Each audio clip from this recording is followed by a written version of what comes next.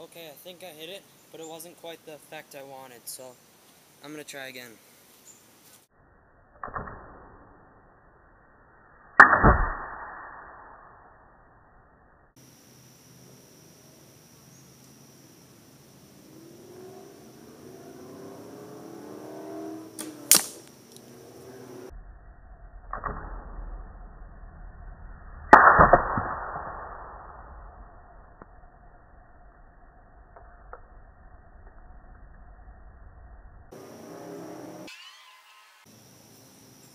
That is what I'm talking about.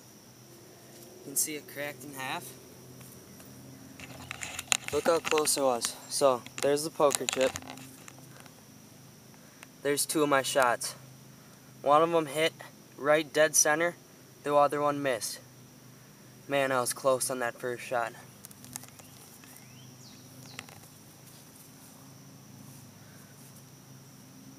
That's pretty sweet.